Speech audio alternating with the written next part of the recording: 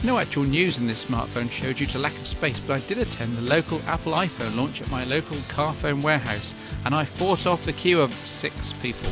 Anyway, I had a play with the Apple iPhone, and there's more iPhone coverage coming up in a couple of months' time. Watch this space.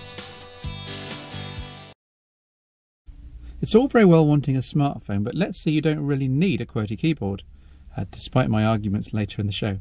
Let's say you don't need a fancy auto-focusing multi-megapixel camera. You need a reliable, stable device on which you can keep track of your life, of email with some web browsing and music or video consumption thrown in, and perhaps a few games as well.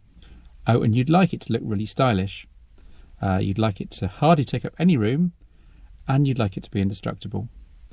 It sounds like a requirement that just got a lot tougher again, but then don't worry because it's a perfect description of this, the brand new Nokia E51. First impressions are good because of the black and silver styling, much in vogue these days, with a mainly metal construction that should last for years of rough and tumble without giving up. The second impression is pretty good too, as it dawns on you that not only is the E51 styled like the E90 monster that I like to talk about, it's got the same software and much the same power under the hood. With Nokia's business focus in their E series range, we're talking Active Notes, Team Suite, Nokia Maps, Search, and Quick Office, although only the viewers by default.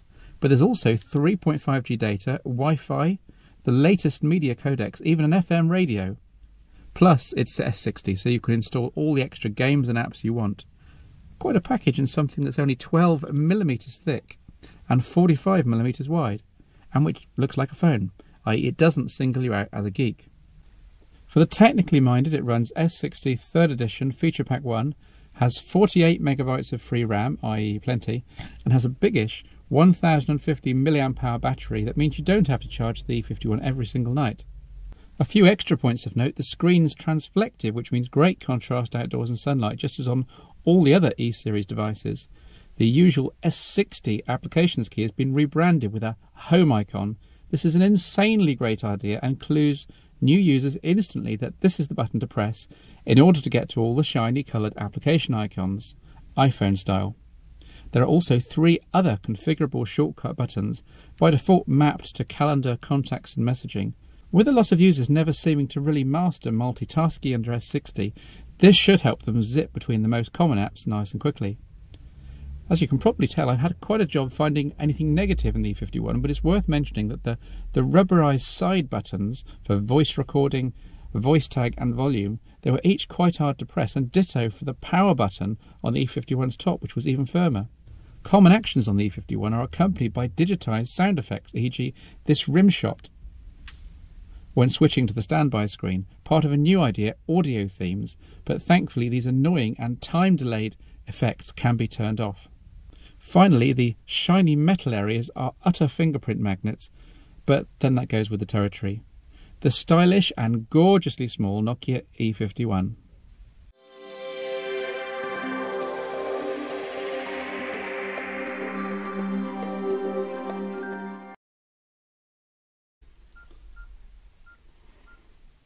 Do any of these scenarios sound familiar to you?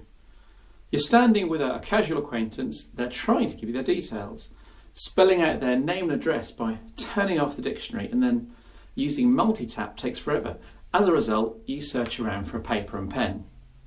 Or you're out with the family, you're trying to find a particular location that you vaguely remember. Starting up the web browser confidently and going online, you sit there spelling out suitable search clues into the mobile version of Google using multi-tap, while your wife and children remind you every 30 seconds that they're still waiting or you're at the queue at the bank and you check your email, there's a message here that absolutely has to have a response immediately. You start typing out a reply using T9 and the built-in predictive text dictionary, but after 15 or so words, you realise it's going to take 10 minutes to spell out everything you need to say. So you close your smartphone, you grit your teeth, waiting for when you're back at the office and can deal with it properly. Or you're waiting for a train, you have a spare 20 minutes. Ideally, you want to have a good look through your to-do list or bash out some thoughts into a new report you're supposed to be putting together, but you forgot to bring your fold-up Bluetooth keyboard. As a result, you fire up a game instead. So it's not just me then? No, no, please don't lose interest. You need good text input more than you think. You may think you're more of a content consumer than a creator, but every time you look up a contact call, every time you write a text message, every time you enter a web address, every time you scribble in a new appointment in calendar, every time you add something to your blog or a comment to your photo stream, you're obviously entering text, and you might be surprised if you add it all up. I find I enter around 300 words a day on average, and trying to accomplish this on a keypad based phone is just painful. And I speak as someone who's pretty nifty on T9 and predictive text. It's just too slow. I've covered adding a Bluetooth keyboard before in the smartphone show, and this is a good solution if you're stationary a lot, for example, in a, a train seat or a hotel room. But let's face it, it's impractical and geeky for most people most of the time. And this is not to dismiss uh, the N95 8GB or any other keypad based smartphone, um, but at least hear the QWERTY side of the story. In some parts of the world, for example the USA, the very word smartphone is defined as something with a, a QWERTY keyboard, which although it differs from my own original definition of a, a device running a proper operating system to which you can add native applications, uh, the USA definition does make a lot of sense and it's easier for the man in the street to clue into. After all, a QWERTY keyboard is easy to spot. And devices with full QWERTY keyboards of all shapes and sizes have become more and more popular in recent times, as witnessed by the flood of HTC slide out designs, the Treo BlackBerry stroke Nokia E61 form factor, and of course the top of the range Nokia E90. Although many of these are ostensibly aimed at businesses, having a full keyboard always available means never having to stand there cursing the software for putting in the wrong word and never having to keep reverting to alphabetic input mode to enter a name and address in painful multi-tap again and again. I've even done some benchmarks on a variety of smartphones looking at the text input speeds which can be achieved and looking at which device is suitable for which use case. Yeah, I know, I'm, I'm sad like that. But I know you're interested too. And in each case, I've tested the words per minute and estimated the number of words per day that you'll be comfortable entering. The Nokia N95, a typical S60 smartphone using multi-tap on the number keypad, 11 words a minute, 40 words per day comfortably. The N95 again, again a typical S60 smartphone using predictive text this time, 17 words a minute, around 60 words a day comfortably. The HTC Touch, a typical Pocket PC using the stylus on the on-screen keyboard, 20 words a minute, around 100 comfortable words per day.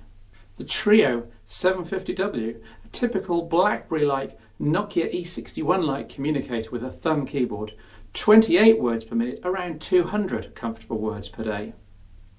The HTC Titan 2, a modern sliding keyboard Windows Mobile 6 communicator, 29 words per minute, 200 words a day comfortably.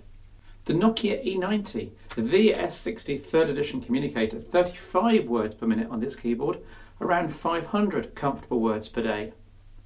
The T-Mobile MDA Pro, also known as the HTC Universal, a now kind of obsolete Windows Mobile 5 keyboarded communicator, uh, 37 words a minute here, 500 words per day.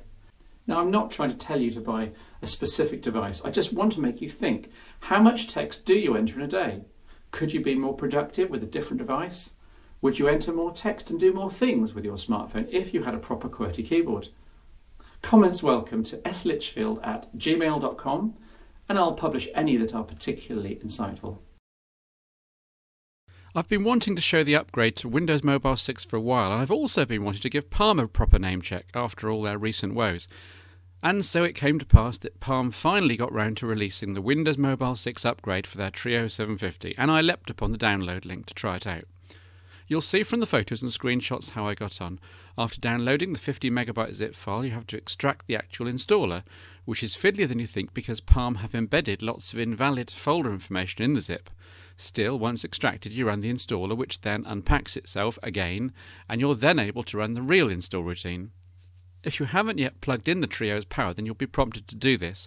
The upgrade won't work without it, even if the battery is fully charged. Then you sit back, trying not to fiddle with your PC just in case, and watch the update files get copied over. Your device's screen will then go multicoloured as here, and a progress bar will appear to show you how far it's got reflashing your smartphone's firmware. When done, and this bit does take a good 10 minutes, so be patient, your smartphone will restart automatically and go through the usual fresh from the factory screen calibration, welcome, and manufacturer stroke network software installs, if appropriate. After which you've got yourself a Windows Mobile 6 smartphone, as evidenced by this settings stroke system dialog and the new busy strip and calendar up the top. Just two obvious symptoms of upgrade success.